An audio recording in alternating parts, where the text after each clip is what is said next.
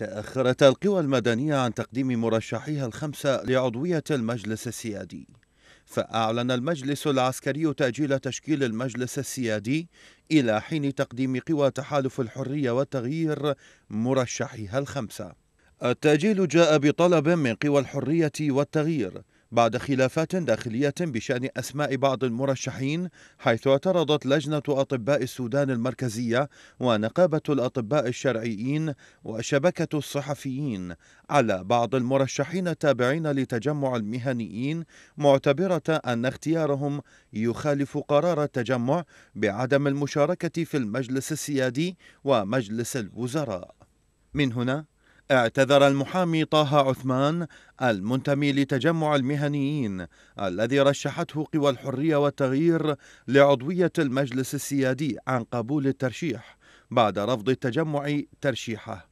الأمر الذي دفع قوى الحرية والتغيير إلى طلب التأجيل من أجل الاتفاق على مرشح بديل.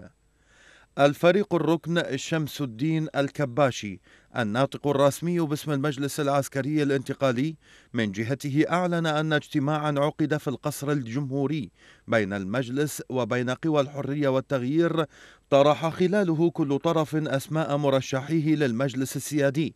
كما توافق الطرفان على اسم العضو الحادي عشر في المجلس السيادي بينما رشحت قوى الحرية والتغيير الخبير الاقتصادي عبد الله حمدوك لتولي منصب رئاسة الوزراء. وحال اكتمال الاتفاق سيصدر رئيس المجلس العسكري عبد الفتاح البرهان مرسوما دستوريا بتشكيل المجلس السيادي السوداني وتعيين أعضائه. وهو ما يعني عمليا نهاية أجل المجلس العسكري وحقبته.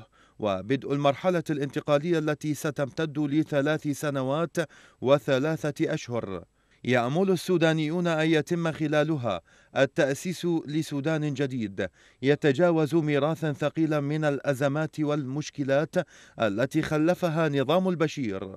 سودان يرتكز بناؤه على قيم الحرية والعدل والمساواة وتحقيق الأمن والرفاهية لمواطنيه.